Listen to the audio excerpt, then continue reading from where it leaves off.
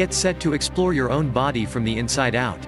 This fascinating guide covers everything from the top of your nose to the tips of your toes. Travel through the amazing human body to learn about the brain center, muscle power, bony frame, pumping heart, and senses hard at work interpreting and understanding our world.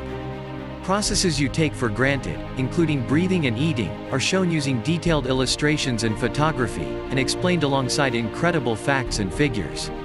As you look through the body, you'll also learn about the history of our fascination with how the human body works. This is a fun and interactive guide with lots of infographics, statistics, facts, and timelines.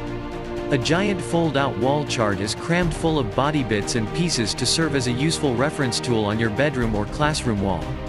Whether you're looking for a body book for homework help, school projects, or just for fun, with Human Body you'll never look at yourself in the same way again.